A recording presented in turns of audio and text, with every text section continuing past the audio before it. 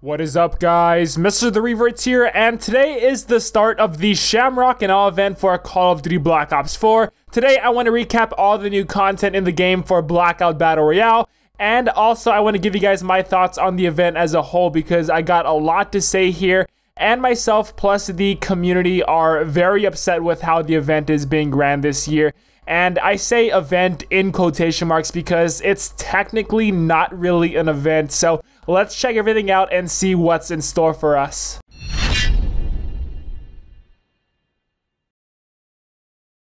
Now, Shamrock and Awe is going to be running until March 26th, so we got a good two weeks of playtime. Plus, this week is going to be spring break for most of you guys, which is also very nice. Xbox and PC players, the event is going to be starting on March 19th for you guys, so next week is when y'all can get started with the event. And as you can tell from the gameplay, the Blackout Battle Royale map has been updated to show off a more vibrant, colorful springtime appearance. And so far, this is my favorite reskin of the map.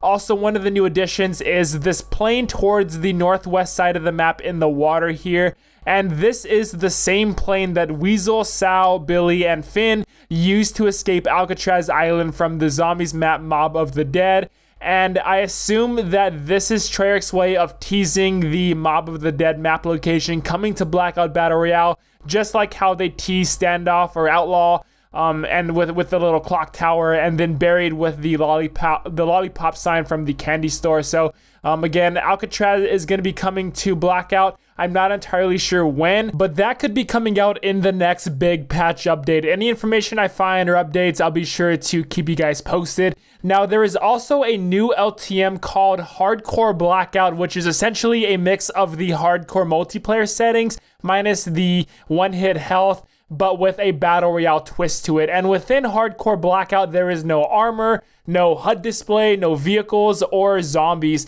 And I like the idea for the game mode. However, I probably won't be playing too much of it because I just love Hot Pursuit right now. I've had so much fun playing that game mode and hopefully that stays as a permanent mode going forward here because at this point I like it better than the regular quads right now if I'm going to be honest. And speaking of LTMs, your wins plus stats in these modes are going to be transferring over onto your actual record now. So if you sign in and see an increased number of wins or your stats have changed, it's because of that. And right now I'm sitting at 250 wins. Let me know how many wins you guys have down below in the comments. And then next up, another cool little feature in the Blackout map are these rare golden pots or cauldrons, which can contain a stack of paint cans, plus the money sack melee weapon. I haven't seen anything else in there besides these two loot items.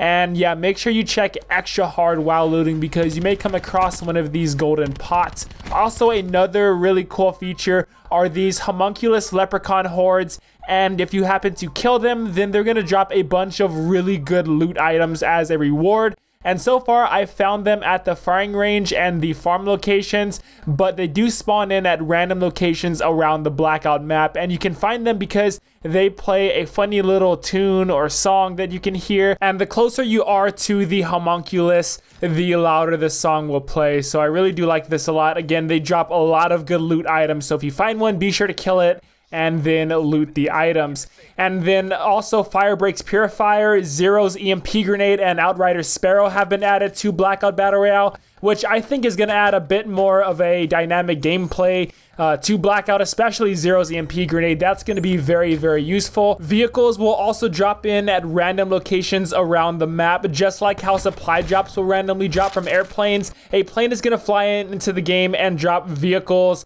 and then lastly, operator mods are also now in Blackout, which is pretty dang cool and something I've wanted for quite some time now, just like how um, Zero's EMP Grenade, Outrider Sparrow, Firebreak Purifier. I think it's going to add a different dynamic to Blackout Battle Royale. And so yeah, guys, this is all that has came to the update within Blackout Battle Royale.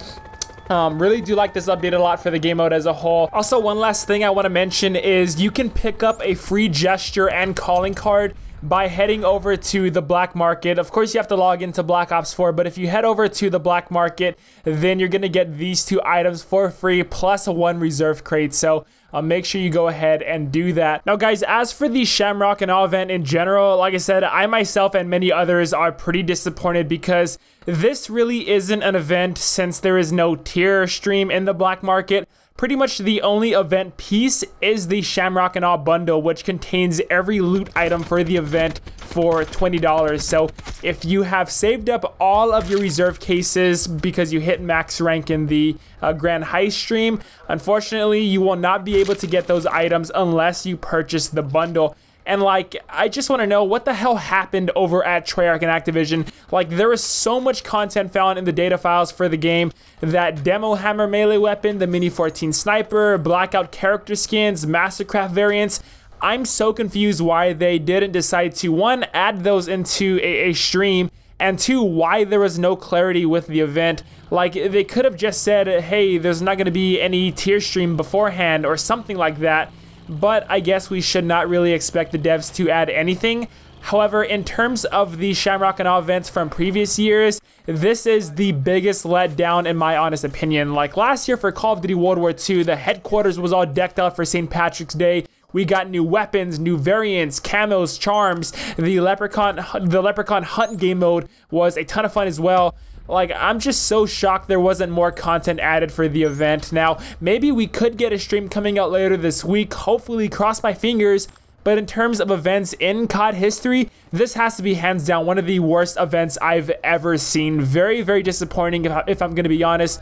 But again, the updates for Blackout have been super duper fun so far but in terms of everything else, it's honestly just mediocre. And if I did not play Blackout, then I'd be even more upset right now. So for those of you guys who play regular multiplayer only or zombies, I do feel very, very sad for you guys because the majority of the updates are for Blackout and not really for the other two game modes. But please tell me thoughts about the event down below in the comments. Are you guys excited? Do you guys um, do you guys feel you know differently how I feel? Again, please tell me down below in the comments. Also drop a like on the video if you guys did enjoy. And thank you so much for watching, guys. I love y'all so much. Again, possibly we could be seeing an, an event stream coming later this week.